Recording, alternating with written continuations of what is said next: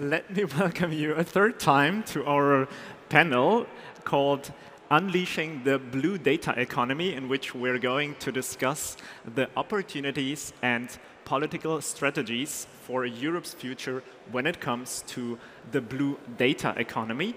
We have three panelists here. We're still awaiting one of them, but he is already in the hall somewhere.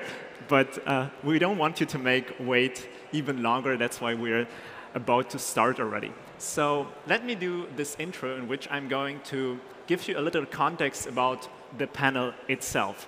We are diving, literally diving, into the blue data economy, which is kind of a new frontier to leverage maritime and satellite data for smarter decision making when it comes to the activities in the obviously ocean. Our panel experts will discuss these opportunities and actually we have a pretty holistic approach because we have someone from the science, the ocean science community, Dr. Martin Visbeck. You're going to provide insights from the perspective of ocean science community. We also do have a representative from the software and cloud industry, basically the economy, who is going to provide the industry's perspective on how the blue data economy can drive innovation and economic growth on a large scale. I'm very happy to welcome Mr. Jann Wendt here. And we are waiting for uh, a third speaker that I'm going to introduce later on, a member of parliament, Dieter Janecek, who is a political representative from the Ministry of the Economy in Germany and also maritime coordinator. But as he is still to arrive, I think we can already start with our intro and initial statement.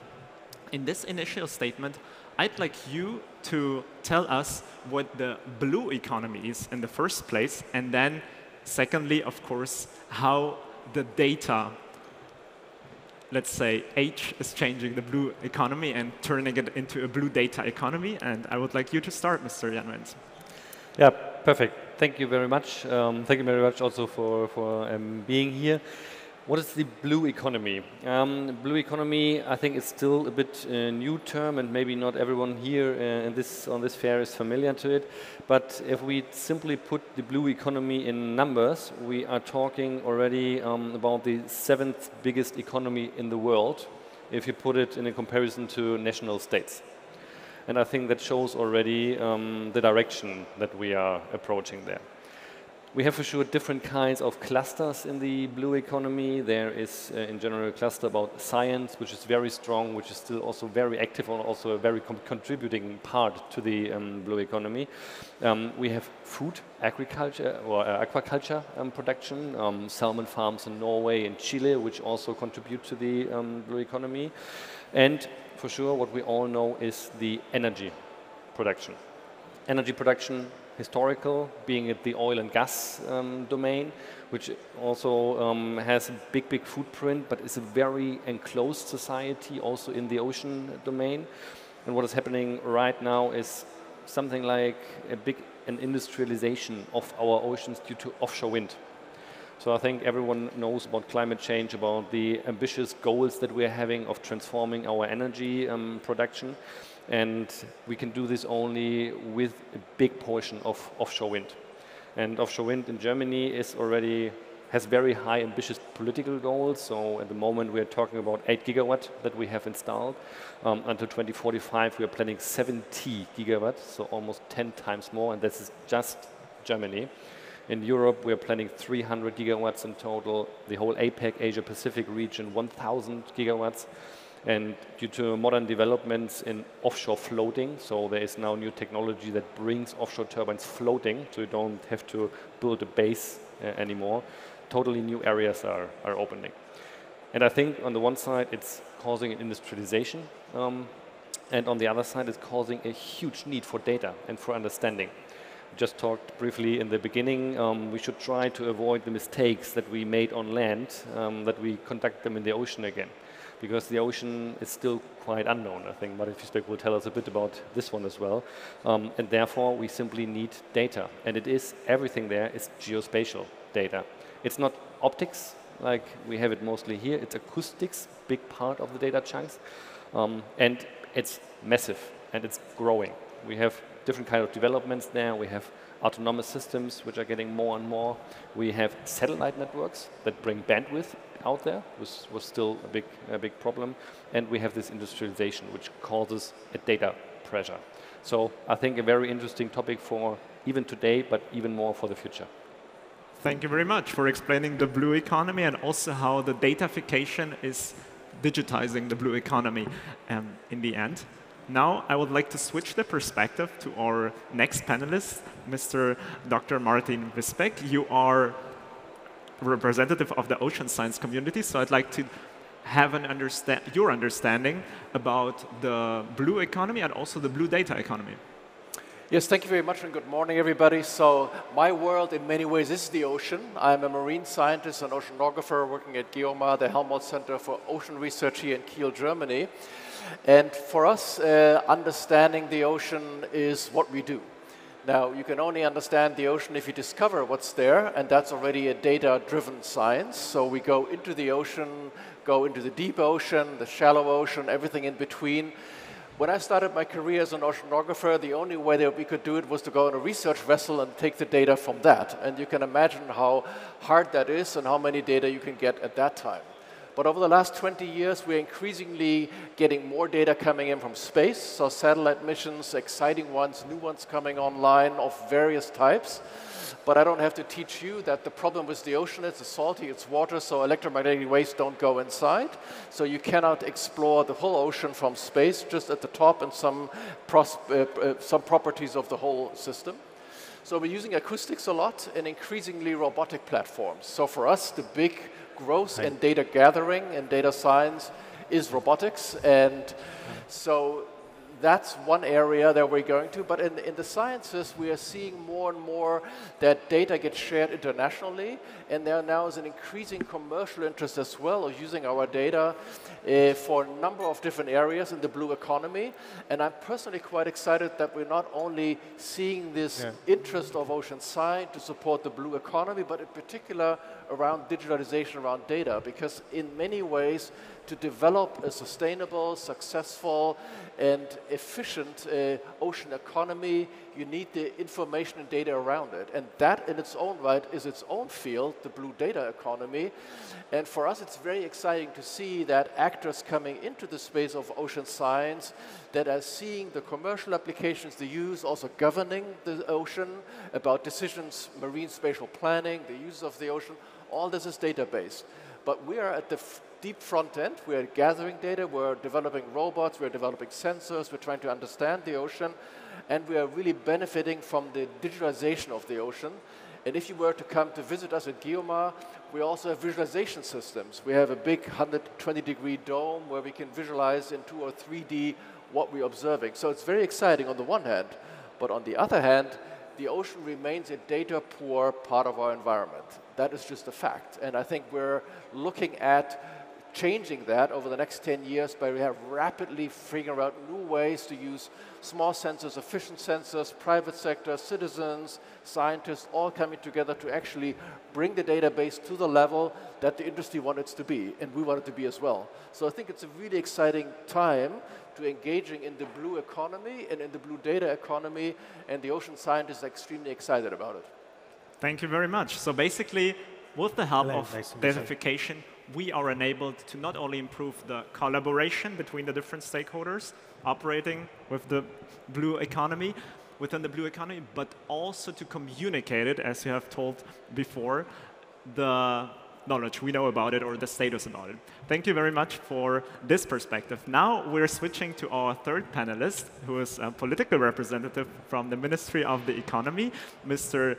Dieter Janecek, Member of Parliament, and uh, you are also a maritime coordinator, and this makes us also intrigued to know more about your perspective on the blue economy in the first place, and then the blue data economy that is evolving right, right now in the second place. So thank you very much for having me here. Uh, one thing about data is getting around in these ferries here. So I didn't manage to do that very well, but uh, maybe next time to come uh, earlier to the panel. So regarding uh, the blue economy, which is important for Germany, which is important globally, uh, data is important. So and Germany, as the Ministry of Economy and Climate Action, we are funding Gaia X, which is the huge project in bringing data together in different sectors, and one sector is the maritime sector. So, and as you said, it's not so easy to get data underwater because it's not flying around there and you can catch it like you do it in the air. So it's about a lot about uh, uh, Marispace X as a one very important project. We additionally funded this area and bringing sensors, bringing shipping, bringing uh, the, all the question of offshore wind energy, which is a huge project for Germany, investing and, and the whole European Union is investing billions and billions of euros in connecting the grids and pipelines and hydrogen and also the question of saving the ocean because there's a lot in the state of especially the Eastern Sea, which is not good. So there's so many things to do, and it can't be done without data. And so we have to get data, quality data, bring this together, and I'm very happy to be here today to learn a little bit about your experience, your business models, to get a blue economy, data economy going on. And that's what we aim to do, and that's where Germany is funding and that's where the German government is committed uh, to work together with companies and bring a reliable marketplace for you that data can be achieved and bring together in quality terms and bring new business models for research, but also for the question of uh, the economy and all the market players that we have there. Yeah. Thank you very much. So it is all about creating awareness to the public, regulating the activities, but also funding important activities, be it research or economic development from the political perspective. And now, having said that, thank you very much for this holistic approach on the blue data economy and also the blue economy. I'd like to ask before we dive into this political governance topic, dive into some real world examples. So is there anyone from you who would like to illustrate how the blue data economy is truly creating value right now already. Uh, maybe I can say a few words about it from an industrial um, perspective. I mean, when we want to build an offshore wind farm, we need lots of data to first determine where we want to build it. Yeah, so in Germany, we have the Federal Hydrographic Office who is collecting this kind of information, who builds some kind of maritime spatial planning, which is a very important word for us because as you maybe know, the ocean is vast, but there is not as much space as we maybe think. Yeah? So there's a, already now a high overusage of our oceans, and especially the German areas. Um, we don't have that much space there. Yeah? So you need shipping routes, you need military practice areas, you need aquaculture areas, you have many, many uh, competing um, usages, um, and therefore you need the first data set. So, but when we determined where an offshore wind farm has to be built, um, that's just the first place of it. So you start then um, a total planning phase of an offshore wind farm, which lasts up to five, six, seven years until today. We are, I think, getting there to be faster in the future. Um, but all of this is, is data driven. So um, the BSH goes out, is collecting the first uh, data sets. The potential investors who want to invest in this are collecting data to get an understanding because what um, Martin Visbeck pointed out, it's still quite unknown. Even if we are talking about our German areas, it's not simply you know where you're going, you know your costs immediately, so you have to have a very good understanding for, for de-risking your investment um, uh, as well. And all of this is data-driven. So this is just the planning phase. And after the planning phase, the whole part of building the wind farm is starting, which is all data driven. The whole 20 years, 25 years of operations, which is data driven. So I think offshore wind is, for now, I think our best example because it's something that's affecting all of us. Um, and it's something that is growing at a very, very fast, fast rate. Thank you. Do you want to add something when it comes to real world examples? I think energy consumption and planning offshore parks is a very good example, actually. Let me give you another example that comes from a related arena, but isn't maybe not so directly uh, to blue opportunities from the economic space, but extremely important. For example, in the ocean sciences, one of the topics that we're studying in is how will the ocean, as part of the climate system, change over the years to come, and what that means for us in the coastal communities. And one of the biggest, there's three big issues. One is warming of the ocean system, in particular extreme events. We've seen this year so many heat waves and extreme events, many more than before. And where do they come from?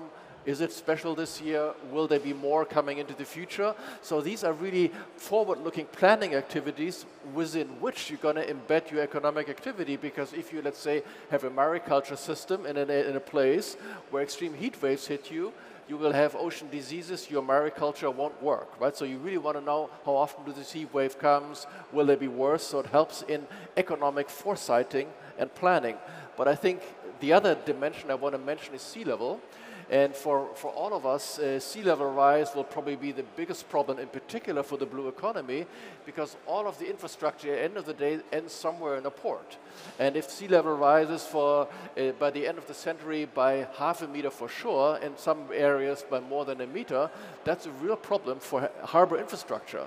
Uh, it's also a problem for flooding, but there you can build dikes, but the harbor infrastructure is sometimes even worse. So what we're doing in the marine sciences, we're giving you also foresights and understanding the environment within which the blue economy will operate. And I think so that is a slightly more indirect uh, contribution to the blue economy. But when you talk to reinsurance companies, that's the number one business for them. So there's another area of the blue data economy that is setting out the playing field and understanding the area within which you operate and also how it will be changing in the next decade or two. Because remember, all infrastructure investments are made on a 30-year horizon. They're not made for the next two years. So they want to know what is the forecast over the next 30 years. That's a fundamental database upon which the blue economy can successfully strive or be have stranded assets. Wow, that's quite interesting. So it's not only about the blue part of the world, let's say the, the ocean to be planned or the sea, it's also about the edge between land and ocean and how we manage the development of this edge or this line most efficiently and that we don't just fight basically or firefight what, what is happening, the problems that are occurring, but also have some kind of preventive measures. This is a very interesting approach that I've never thought about. Now, I would like to switch to our third panelist. Do you have, from the funding perspective, any examples, real world use cases that are popping up right now and seem to be quite important? Well, one is definitely uh, offshore wind. So the question, how do we get these huge amounts of windmills, of converter platforms, of uh, cables, pipelines, also in this uh, area, in, uh, into the sea, and on this other side to get it uh, well done and get the data that is efficient. And you know, energy is produced in, in several hours and different amounts of energy. So the question is how to get all these things together. Then very important in the future will be, and also right now, is the question of safety and security. So just right now we had, uh, after Nord Stream last year, now we had the question of the interconnector in the Baltic Sea between Finland and Estonia. So there is crime in the seaside, and so we have to make our assets sure and safety. And uh, how do we get there? Only by sensors, by data, by autonomous systems because we cannot do that by people in this uh, very not life-friendly area of the deep sea. Yeah. Thank you. Now let's stay in this political regulation field or governance field in which we are aiming basically to coordinate this whole enchilada of stakeholders. And I'd like to know, like just to have an understanding when it comes to other continents, other countries, where can we see Germany or Europe in general when it comes to the exploration of the blue data economy? Like, are we front runners? Are we in the good middle field, or are we just behind? Well, I think we're not behind, but we could also be better. But let's say compared to United States, for example, they also have big research institutes and do something, but it's not like Europe is behind. So looking at Geomar others, Alfred Wegener Institute, and also some companies in the area. Also the maritime sector who is interested, looking to Norway, which is the fifth biggest maritime economy in the world, Denmark with these windmills and also huge investments. They're planning for a huge energy island, for example, which might be in the area about 28 uh, billion euros if they're going to do this. I don't know, but so there's so much uh, looking to the northern and the, and the Baltic Sea investment ongoing. I, I, would say there is a real chance that we are front runners in the future, and we're starting to be front runners. That's why we invest. And one strength could be that uh, as Europeans, we work together and have a European investment, which is not only a national investment because it's something that if you look at 450 or 500 million people bringing the economy in the European Union, adding UK, which is also heavily investing, so the whole area. One example, so Europe has more, there is someone flying around, Europe has a double size of coast than the United States has. It might be, it's a smaller continent, but the coastal side is much more huge. So, so we are technology based, we are research continents, we like to do climate change. Uh, not we like to do some. unfortunately, we like to do climate change. We like to prevent climate change. So there's a lot of opportunities. Yeah, I would say so. Yeah. Thank you. Maybe I can add a perspective. I agree with everything you, you said. Uh, but I would say, why is it that in the blue ocean data economy, we're somewhat struggling a bit more, for example, in comparison with things that go around the atmosphere about weather extreme events, right? And I think there's a big difference when you look at Germany and you look at our atmospheric data, they're very interoperable because Germany and the rest of the world is part of an organization called the World Meteorological Organization. It's a UN organization where all the weather services come together. And what the WMO, the World Meteorological Organization, can do, it's a standard setting body. They can set standards, and it's a data distribution and gathering hub. So when it comes to atmospheric and weather data, they're always standardized, they're always internationally shared, sometimes within minutes. When it comes to the ocean, we don't have such an agreement internationally. There is the Intergovernmental Oceanographic Commission, it's not a standard setting body. So we have the problem in the ocean that there can be standards, let's say in Europe, which are different to the standards in China, but are different to the standards in the United States or in India. That is a, is a real problem for developing a blue ocean data economy because the actors in this space are global corporations. These are not the German Hydrographic Service, they play a role, but they usually organize globally. So I think the opportunity is for us on the government side to say, well, maybe we not only need weather data to run a country, we also need ocean data to run a country. And if we take that approach, that behooves us to do exactly what you just said, to say, that means our data need to be interoperable so we can immediately share. And it's pretty obvious that you want to share the data with Denmark and the Netherlands because that's up and downstream of your coast.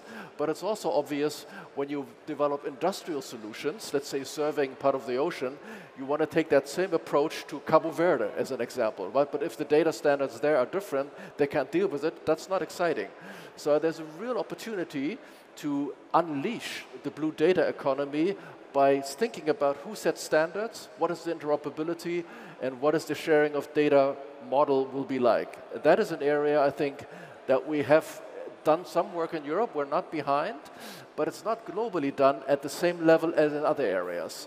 It's, wow. uh, and that I think is an area that we need to tackle a bit more on so we can really become an interoperable community. That's exactly what you guys are working on, but we have to do that globally because the market is driven globally, right? They do the business in a country, but the companies itself want to do the business in Indonesia, in the United States, in Germany, in Estonia, in some small islands in the Pacific. So if that needs to be the same, same approach that, that makes perfectly sense. And actually, it means that right now, we are, we are about to set the direction to develop into, basically, with the blue data economy. There must be a political will to organize this interoperability, and then the technical infrastructure will be that, built that way. If there is no political will, then we will set the false foundation for upcoming developments. Maybe you can also add on that from the industrial perspective? Yeah, adding some points, there were some very, very important points already raised. I think what's clear, Germany is not an offshore nation. Yeah, so we just don't have this classical offshore business like Norway has, for example, like also the US uh, has. But we are an engineering nation. And I think that's also visible in the sensor data or sensor hardware providers that we have in Germany, which are very strong, which are very niche oriented um, still. Um, a big difference is from an economic perspective. In Germany, we don't have this one big player in almost all countries like UK, we have a very big player, in uh, Norway, in France, in the US. Um, there's not this one big billion dollar company who is really in there. Here it's more some kind of heterogeneous um, development in the economic space in this direction. This is something maybe has to change in the future a bit, so there needs to be some kind of more movement to be more, let's say, blue economy and blue data economy oriented. Um, but we have a very solid base to start with. We have amazing research institutes like the GeoMar, like uh, Alfred Wegener Institute, um, like Hereon. So um, there's a very, very solid base um, that produces specialists that has gained huge knowledge, huge reputation also in the in the world. So we really realize as one one main um, scientific entity in the world regarding ocean data. And this has so much opportunity, and I think the uh, politics is starting to realize it. Um, we just heard from, from Dieter Janecek that um, the Marispace project was funded, so it's um, one project um, uh, which has the aim from a very industrial perspective to, to standardize the first um, approaches, how to exchange data, um, how to create something like a data space um, where data can be stored, where data can be exchanged and securely um, exchanged as well. And um, we are coordinating this Marispace uh, project. It's 10 million euros project, so it's quite substantial um, uh, funded. And what we realized there is, even if it's a German funded project and only German partners are funded, there's a huge interest from the industrial domain way beyond even Europe. So um, we uh, just got, for example, Microsoft um, as an associate partner in this project. Um, NVIDIA just uh, announced to be a partner in this project. So that shows that not just the classical sensor space, but also even the tech domain is starting to develop an interest in, in our oceans. And I think that's it's a very good sign, yeah, because it shows that oceans are getting getting relevant, that also finances are coming actually into the into the ocean as well. So, and um, with the basis that we have, if there's enough political support, I think we can really play a major role in the in the world, minimum in Europe, um, to set some kind of standards. And what Martin Visbeck already mentioned, what's also clear for the whole ocean industry, it doesn't stop at borders. We don't know real borders in this in this case. Yeah?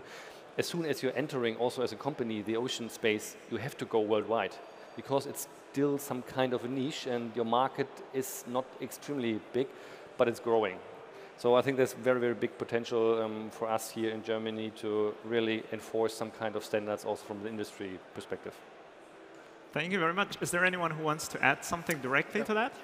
If I can. Um, I'm just going to, we, we, talked about energy systems, uh, wind farm renewables. I think it's a very exciting space for sure. But let's look at the flip side as well. I mean, that is also driven because of climate change and uh, mitigation efforts. But, uh, but, but you can also look at the other dimension. The ocean uh, has taken up about 30% or about 30% of the human-produced CO2 that goes first into the atmosphere, and 30% of that goes into the ocean. So the ocean is a very significant sink.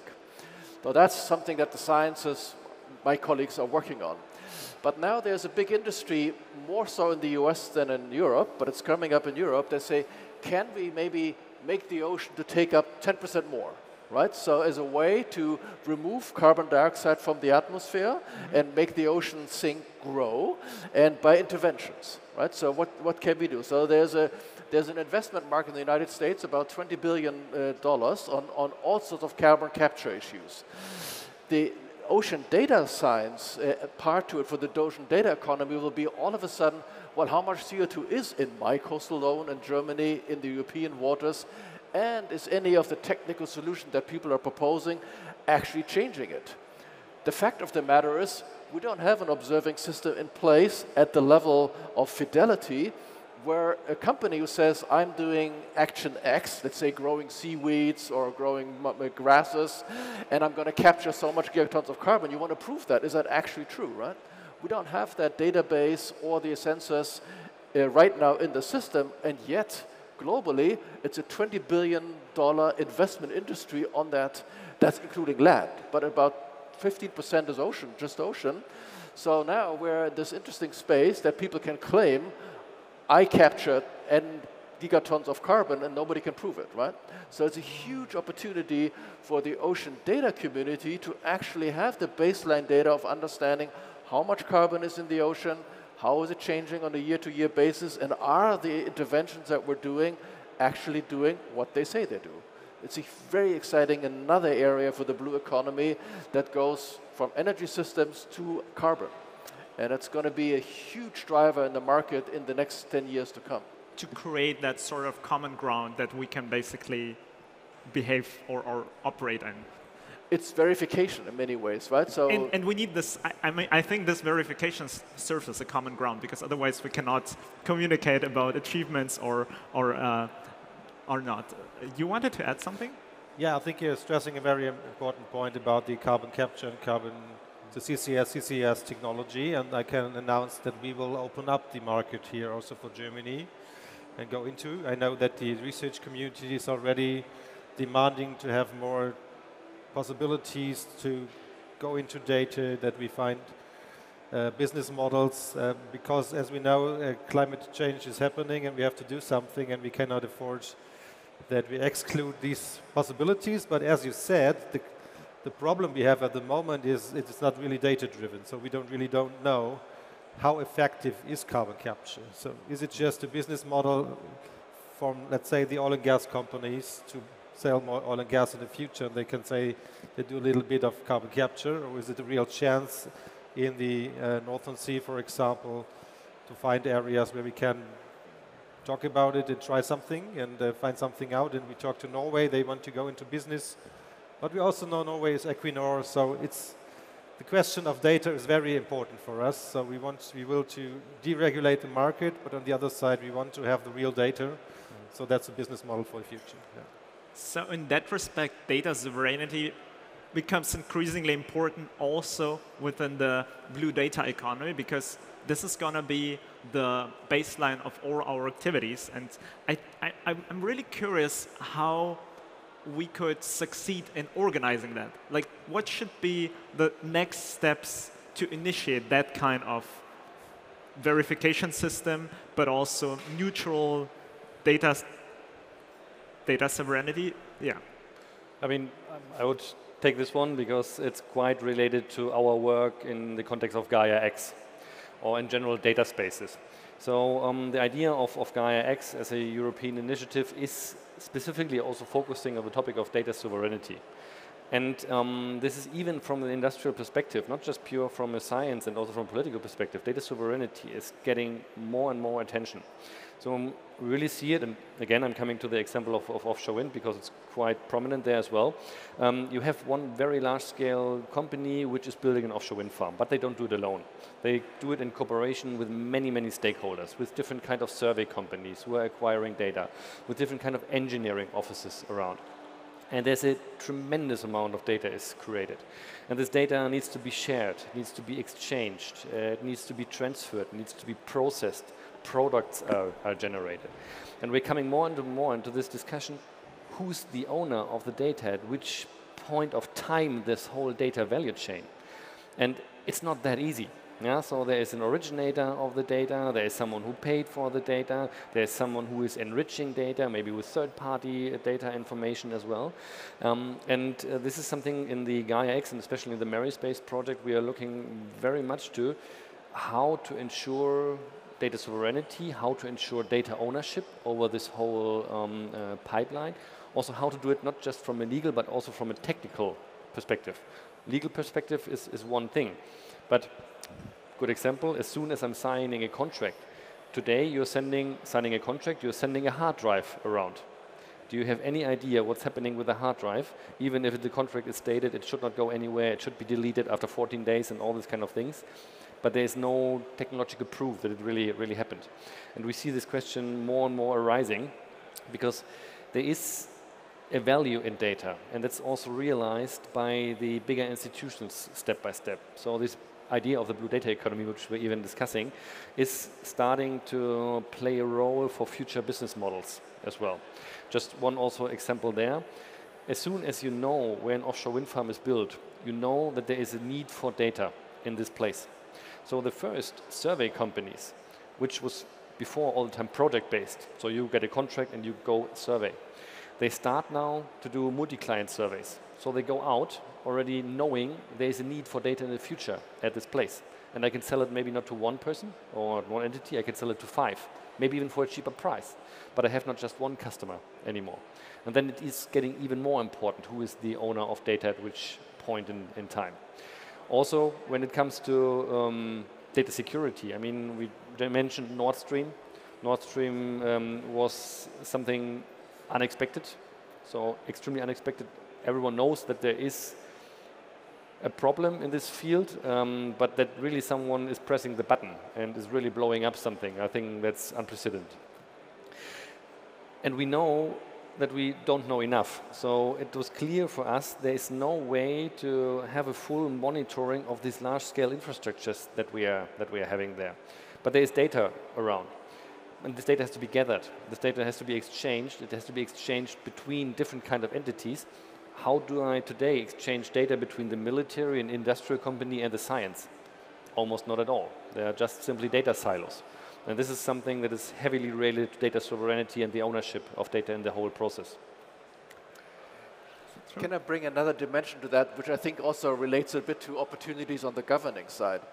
I mean, I find it fascinating uh, that a country, let's say Germany, Europe, that we're actually allowing private companies to take environmental data, let's say a maritime survey, in a non-disclosure agreement, you give me the contract, I take the data, you paid for it, you get the mm -hmm. data mm-hmm. exclusively, they're behind non-disclosure walls forever. I find that fascinating that the country of Germany allows that to happen because what you're actually taking, you're observing the German territory, but somehow keeps the information away from the public, right? So can you imagine a regime which says after a time n, you can negotiate what n is, one year, five years, 10 years, but at some point, the data have to become part of the public record. Even the President of the United States, the secret recordings become part of the public record after 30 years, right? But environmental data in the German Bight, as an example, done by private sectors for a private customer, stay locked away from German citizens forever. I think that's an unacceptable situation. And it can be easily fixed by having laws around that say you must disclose environmental data after some time no private sector company has a problem with that because for them, after 10 years, the data of no, of no value. But they're still of a value for others, right? So it's one little example, and I can show you how that is playing out in Norway. In Norway, when you have mariculture installations with salmon farms, as part of the license to operate a salmon farm, you have to take environmental data and share them in real time. That's part of the licensing agreement. So they pay for the data and they share the data. Why is that? Because the spreading of lice, you know, one of the diseases, is a real problem for all of them. So they all agreed if you don't share the data, we're all going to be worse off, right? So they agree to it, but it's the government who actually said you cannot operate a mariculture installation in our coastal waters without an observing system that you pay for, but you share the data.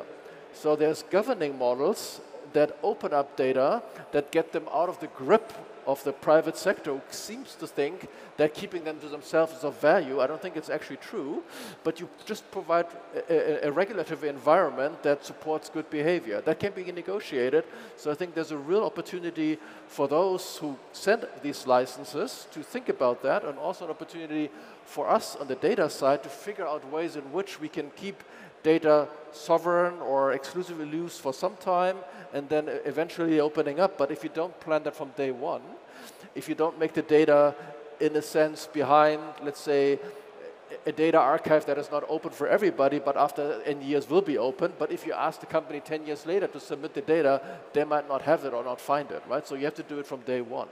But there's really interesting opportunities and comes back to the point that I said before. If the coastal states agree to that running the coast depends on data, they will act differently. They haven't thought about it like that. On land, they do it. Land data get controlled and regulated much differently because they know it's so important for running the country. But in the maritime space, they haven't thought about it like that. And I think it's a huge opportunity because it's an enabler for the blue data economy. If that sharing is regulated well around the planet, it enables business models. It's not a showstopper, it's the opposite. Absolutely. On the other hand, I must admit, if you regulate data accessibility a lot, it also creates business models, but maybe the kind of business models that we do not, don't want necessarily. So it, it depends on how we define the value chain, basically. And that is a political decision. And for this reason, I'd like to have an understanding of, of your perspective on that. So how do you think we should organize data accessibility and data privacy? Because in the end, it's like a, a balance act we need to master. I think there's, there's a high complexity in this topic, especially in the underwater domain, because you very fast get into the realm of defense in some, some way. Yeah? So, and this is um, something when someone on the land side would all the time investigate your pipeline and your infrastructure would get very fast suspicious what is happening there. In the ocean, it's a different story. It's way harder to figure out that someone is actually looking for infrastructure in a way.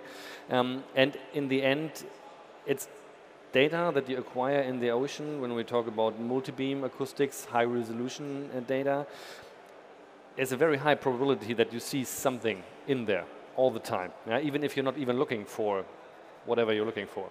So in this kind of complexity, um, at the moment there is no real way to, to work against it. It will come. We will approach this. Um, with these topics of, of uh, Gaia and, and uh, data sovereignty um, approaches, um, but it's still it's facing big, big kind of challenges. I mean, there's probably possibility, like sometimes also done in the terrestrial domain, to aggregate data on a specific level. That is something that you can do. Um, but at the moment, there's no law that enforces you to do it. Yeah, you can uh, simply collect as much extremely high resolution data as you, uh, as you want without some kind of political or legal enforcement to, to aggregate it at the moment. Yeah? But for sure, data aggregation, higher level aggregation, that is at least a technological um, approach to, to solve this. But there needs to be some kind of political um, will also to start in some way regulating this um, uh, domain. It's all the time interesting when industry calls itself for regulation. We see that now in the AI domain, but here it's some kind of a similar um, discussion in, in, in, a, in, a, bit of a, of a, way, because we see the problems that arise with this high resolution data and the problems that could potentially arise, and Nord Stream was just the, the culmination of all of this. Would you like to share your perspective on that? Well, I would say in principle we should share as much data as we can and open it up and do an open data approach as we do, for example, in the tourism sector we have a, knowledge graph which is open data um, regarding the blue economy and uh, the question of the, the Northern Sea and the Baltic Sea, for example. There is security measures, so we have to respect that and German maritime industry, for example, has a huge share of also defense uh, industry, and they have their interests. We have our interests. So I think there has to be. We have to find out what what has to, which data is for sure, which data is maybe critical. Maybe there has to be a better debate to separate that, and then we can get. Uh, but I would formally agree and say let's let's give so much data as we can to research, to companies, to ecologists to do something good because I think the most people, maybe there's always some people who like to do something bad and then, then we can regulate them. And uh, as we are now in the deep sea, we always are able to regulate things. Yeah. I think it's just important that we have this discussion about this yeah. this kind of uh, issue that's that's happening because um, if we don't discuss it now, what you just also mentioned, and don't find some starting points at least, not the perfect solution because they maybe this doesn't even exist, um, but we at least have to find starting points to to think about this also in the future because the data growth and the opportunities that we are um, having already today, and we are coming there. We we see it here as well. The drone technology in the beginning, drones were amazingly expensive, so no one could afford using this kind of drone technology. Now everyone can put almost a laser scan sensor under a drone and can collect as many high resolution data as he or she can. And we see the same developments in the ocean. Now we also see the um, big change into autonomous systems uh, because we need to be less expensive out there. Usually, if you charter a ship, you have 50 to 100,000 euros per day just costs for the for the ship. So gathering data is extremely expensive. So industry starts to go into autonomous systems. They send torpedoes length two meters out, and they start surveying. And this will get more and more and more, and it will get cheaper, and the amount of data will get get more. And we have to think now about the problems that are coming with this kind of, kind of direction. So the task is to use this kind of momentum that is being created through the data-driven world to set the right directory. And the question is, which use cases could be applicable for that? Where do you think there is the biggest touch points between the stakeholders, but also the countries to initiate that kind of collaboration, international collaboration?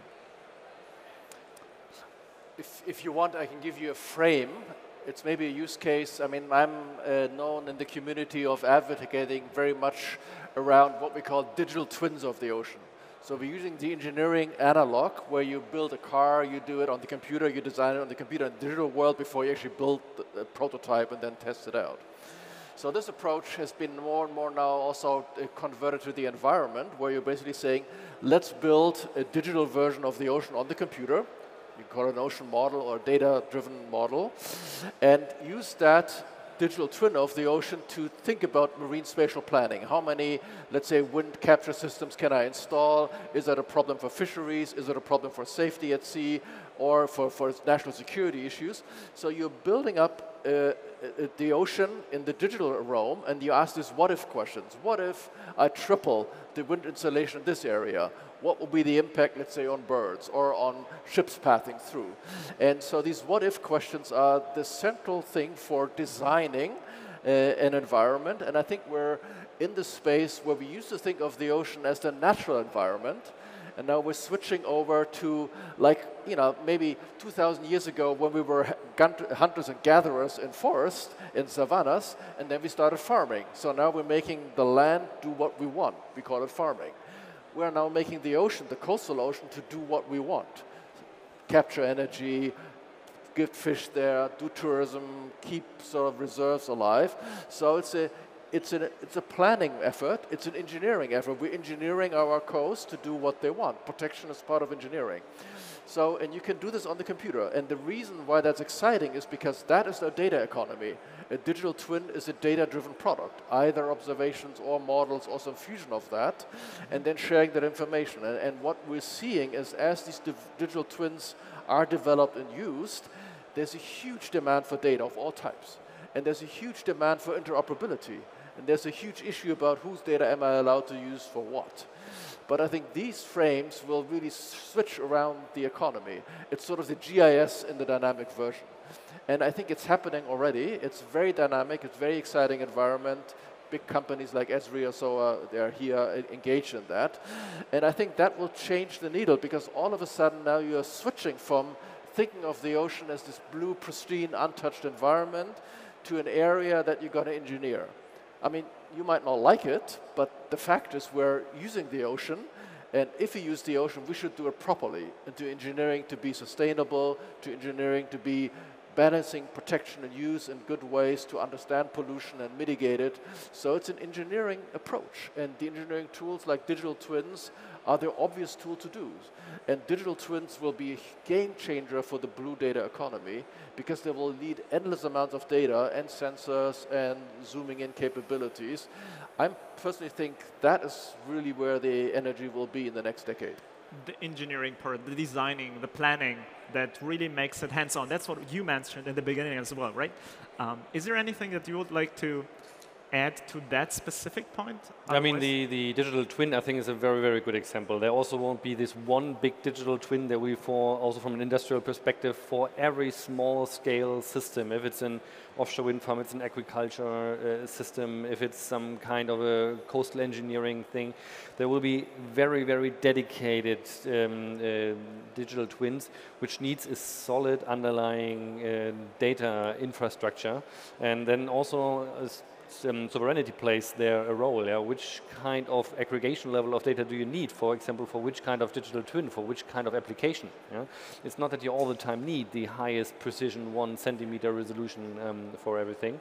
So um, there's a big, big interlinkage between these whole uh, topics. It really dives into some kind of idea of um, a blue data ecosystem in this kind of direction. So I think um, digital twin is a very good example of all this. Thank you.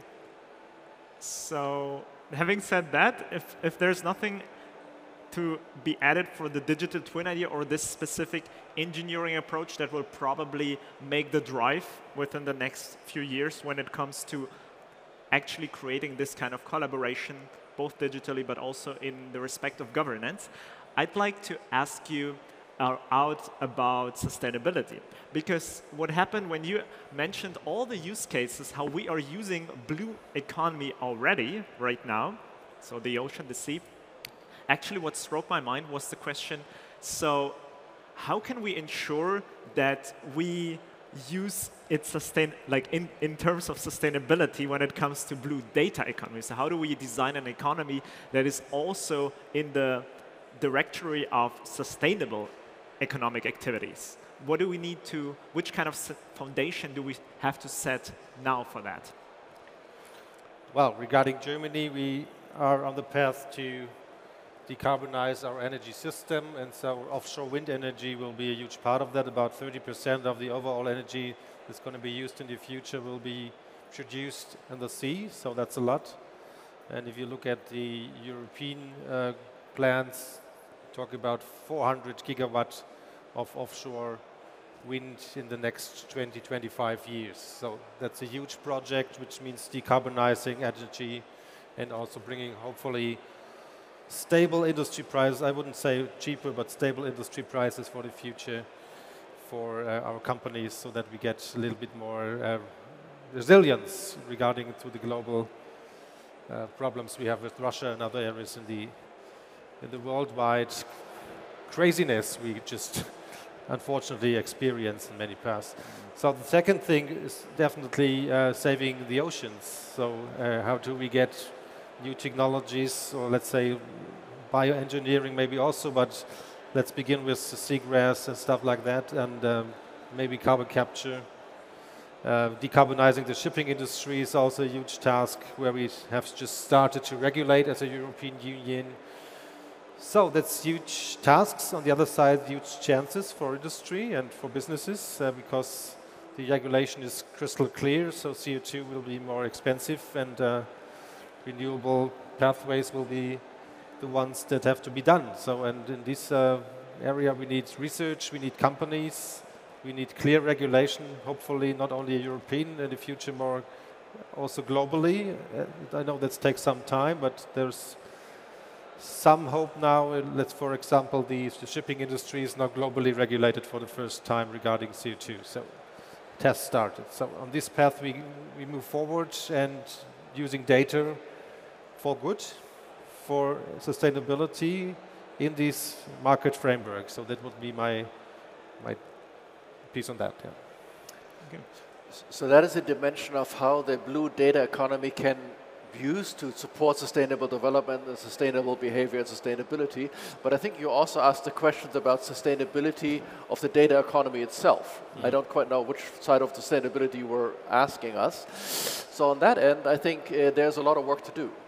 And again, I'm coming back to my example that I mentioned earlier uh, on weather, on meteorology, the fact that the World Meteorological Organization, which is the weather service of all the countries, they also agree to store all the data because they feel looking back at 100 years of weather is going to be very valuable. For now, it's economically hugely valuable because that's where the AI models get trained upon, right? Mm. So it's even in the own data economy. So the question that we have to solve in the blue data economy is how is archiving going to happen? That's another problem, the other flip side of interoperability. If you have interoperable data, they can be easily captured, stored, and archived, because there's the sustainability on that end. Because the data are not only valuable at the instance that you're taking them for a particular purpose, let's say what's the temperature today, but they also become valuable when you look at trends over the last 20 years or cycles and all of that.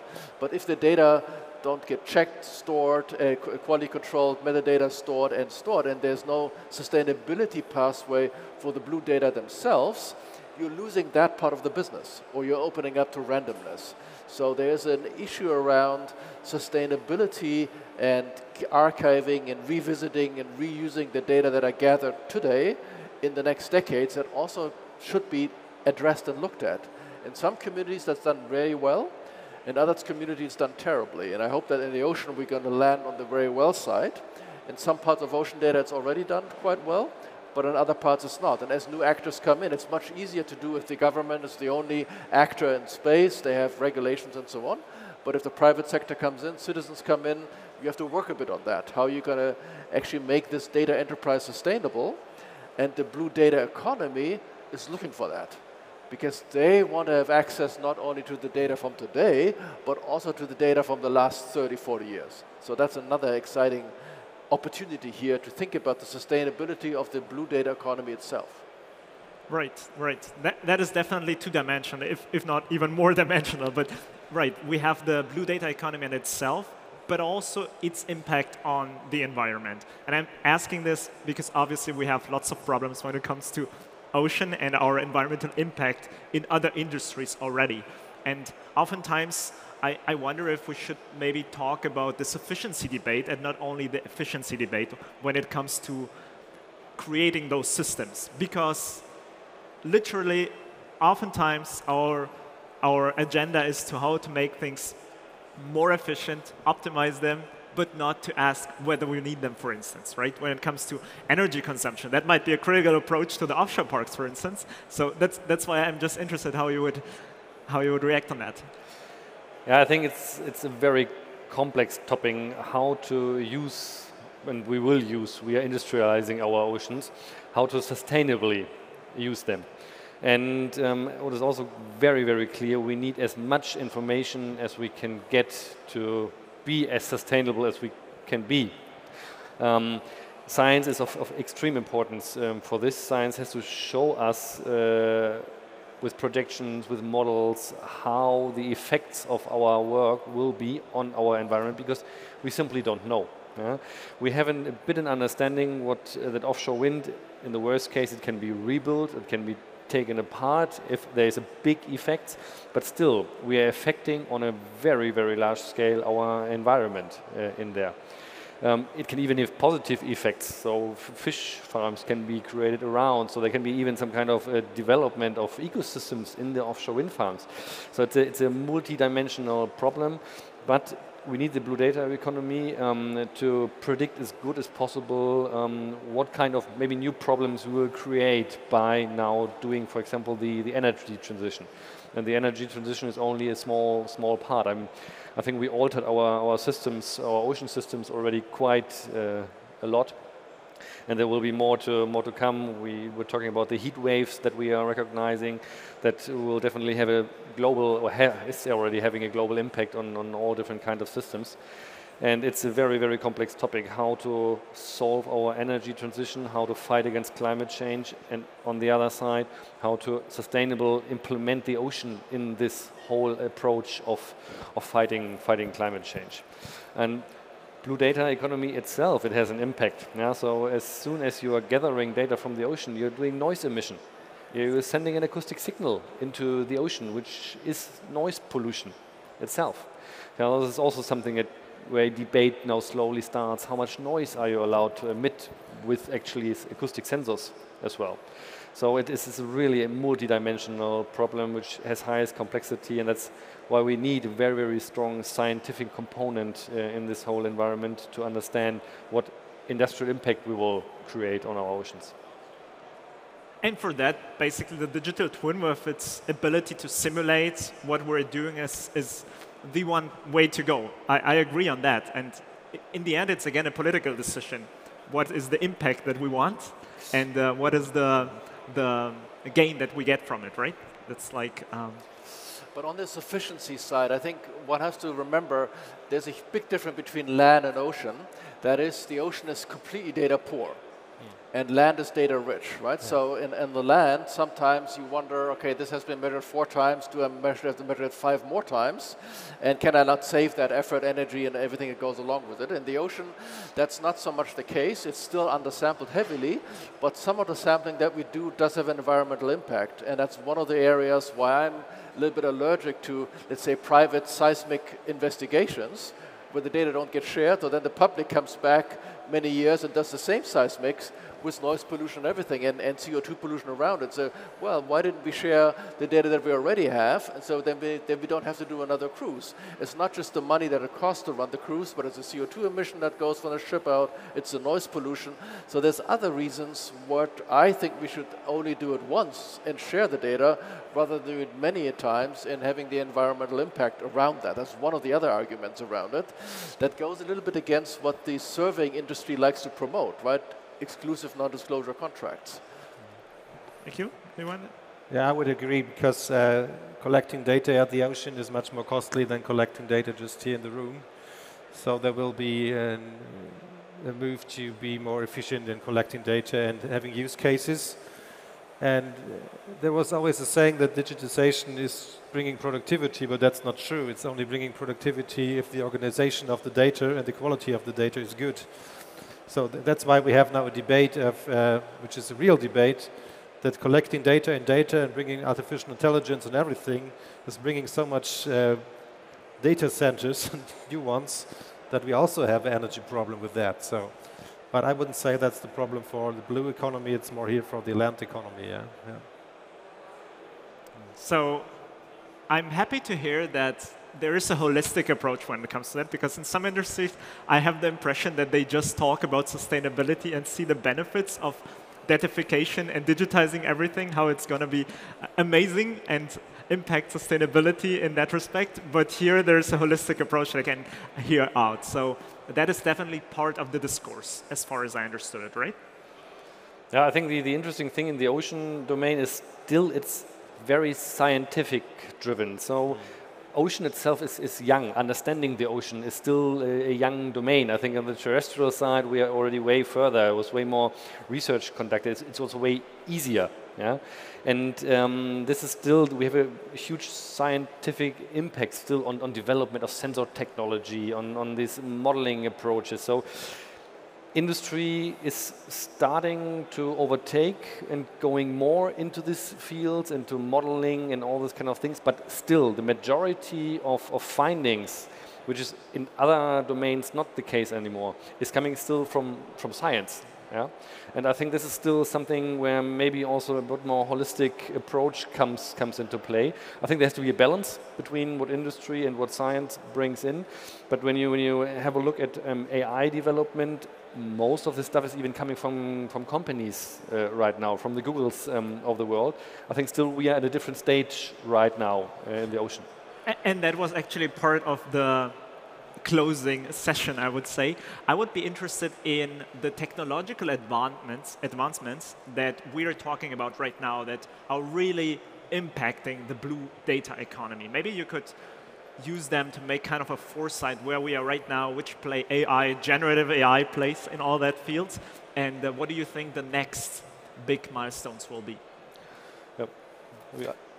Well, I'm as a politician can only be a market observer, but I think definitely autonomous systems is a huge thing that is ongoing because we cannot do things with people. We need uh, technology without people inside these dangerous areas of, uh, of the ocean side and uh, so autonomous shipping, autonomous underwater systems. Uh, how do we get munition out of the sea? This all needs autonomous systems. And artificial intelligence will definitely be a part of that. The question is on which level are we talking about? So maybe there's a lot of movies uh, ongoing about artificial intelligence, and sometimes now we see um, directions maybe we couldn't imagine some years ago, but I'm not quite sure which will be on the use case the next years, what we will see there that might be quite interesting. And so, and uh, then the question will be, uh, how do we so how do we organize and bring quality data together to uh, so the, the Gaia X approach, the Marispace-X approach to share data that the economy for itself, the market shares, they can do the, the, the uh, business models. It's not the, the, question of the state to do that, but to bring the right environment, the right regulation for that. Yeah. So I'm going to make three forecasts. Uh, number one, I, I, mean, I agree uh, everything that you said, Janecek, but let me just add to, I think a, a big revolution will come by more sensors being developed that are easier to use and more platforms becoming online. I think we're going into an environment in the blue economy. Imagine that every container vessel would have a science bay on board and would taking measurement all the time. That is not a dream. I think in five, six years, we're going to start to have that big companies like Maersk are thinking about that. That will be a game changer for observing the ocean. Robots, we talked about, the drone equivalent on the ocean is, is happening.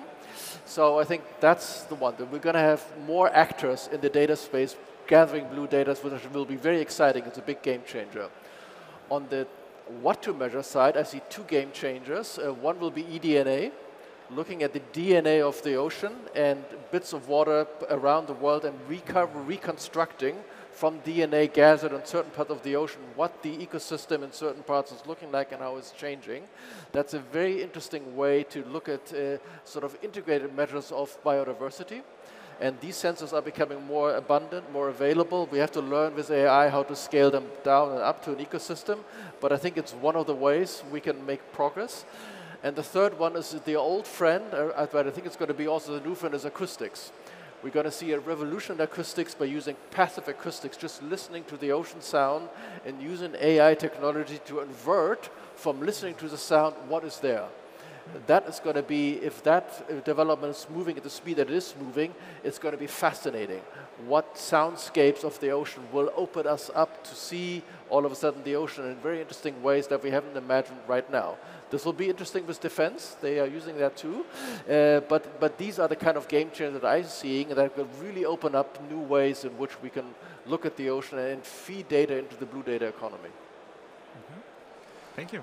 I think from an industrial perspective, um, what is changing, we are going from prototypes, the first wind farms and uh, agriculture systems or whatever, they were prototypes, to processes, because we need to scale. So, and this uh, scaling for sure has a financial effect uh, as well. On the one side, it brings finances in, on the other side, it needs um, finances. Um, and there's some good examples for this. So um, we see the autonomous systems. That's very clear. It's also very much uh, business driven um, as well, because we want to be faster in data acquisition. So today, a ship, 100,000 euros per day, that's not something that you would have to uh, have out there for, for several weeks. So you just want to go out, one ship, 10 autonomous systems, two days, done. So that's the developments there, autonomous systems. Then what I also mentioned in the beginning already is, is satellite or in general um, network coverage, which is still something in the very far offshore domain. You don't have bandwidth, you don't have internet there. And if you don't have internet, that makes things quite complicated, honestly. So um, it, it, means you have to process data on board of the ship, you have to drive into the harbor, you have to send a hard drive to the next uh, um, entity who is working with it.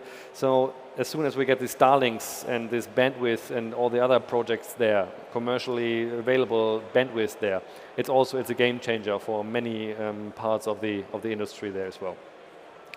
And um, what's also of interest is for sure the development in the AI field. Um, how much generative AI is now of, of interest, we will see. But what we are working, for example, with NVIDIA together is physics AI. So how can you model physical systems not based on a full understanding of the complexity of the system, but maybe based on modeling it in a more black box um, approach. But we did, for example, some first tests for multi-beam data correction.